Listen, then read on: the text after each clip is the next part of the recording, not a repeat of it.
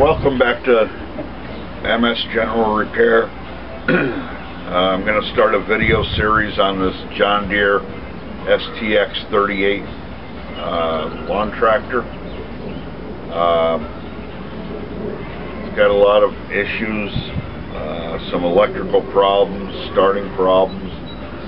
Uh, but the first thing we're going to do is uh, take it on a date with the pressure washer get it cleaned up a little bit, and then we'll start uh, following through on the uh, electrical and tracing it out and seeing uh, why certain things aren't aren't functioning the way they should. Uh, so we'll be back uh, in a few minutes when I get it set up with the pressure washer. Let me just give you a quick walk around of it.